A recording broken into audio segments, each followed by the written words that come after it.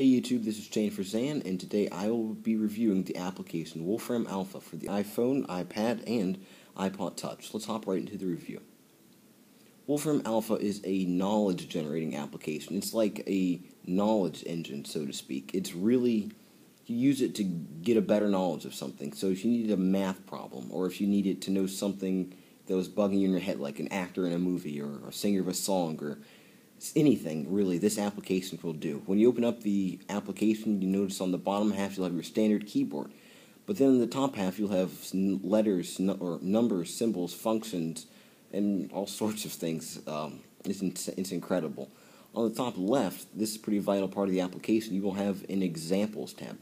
For the most part, people who first start out using this either on the app, either as an application or on www.wolframalpha.com they don't really know how to use it very easily. It's not the most easy application to use, but this is a good guide to teach you how to use some of these things.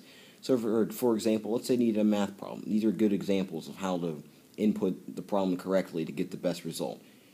Um, you can plot graphs with it, solve algebra equations, calculus, geometry. It's a great, um, a great school guide or a great app for for schools. Great.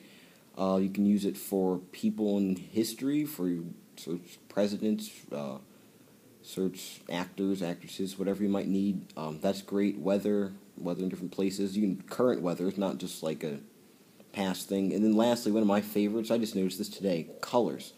This is pretty neat because let's say I wanted to color my YouTube page a particular color, but you know you need the HTML colors.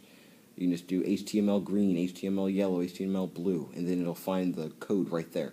Let's say I wanted to make a search. Let's say I wanted to search Pokemon. Boom. Let's see what happened. You can fix the assumption, so I can assume it's a video game, assume it's a movie, or use it as a class movie instead. I'll assume it as a video game. Um, you can tell me the release date, what platforms it's on, Nintendo only, what genre, what it was played on, rating. I mean, who was developed by. This application is amazing. Um, I'll, let's do another search. Let's say one wanted a math problem. Let's say one wanted something like, oh, let's say one want 7 plus 1. Over Wi-Fi, you wouldn't need anything like that, nor would you do it through 3G, just through air. But let's say you need a more complex um, math problem. Let's say you needed 5m plus 7 plus 4m. Let's see what that does. Obviously, it'll not, it'll put in all sorts of things. Assume it as a variable, which I want it.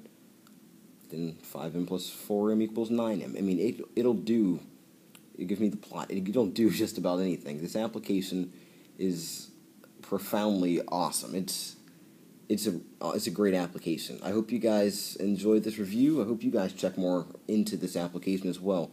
I ask you guys to please like, comment, and subscribe on my page. And for more tech news, check out the channel I Am Wimbly. I'll post an annotation somewhere in the video and a link in the description so you can check him out. Um, other than that, I hope you guys enjoyed this review. Thanks for watching, and I'll see you guys later. Bye. For more app reviews, please click on one of the links above.